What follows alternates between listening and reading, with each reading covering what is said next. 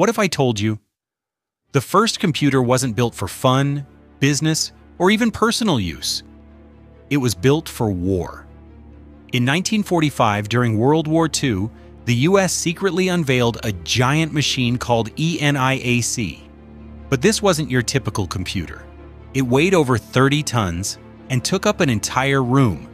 And guess what?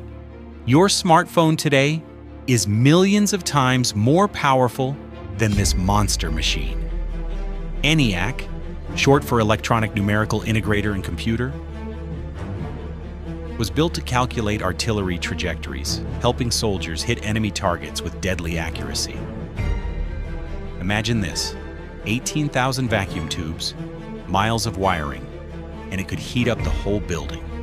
It could perform 5,000 calculations per second.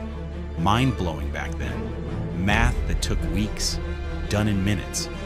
But here's what most people don't know the first people who programmed ENIAC were actually six women, unsung heroes of computer science. This giant machine started it all. Without ENIAC, there would be no smartphones, no AI, no internet.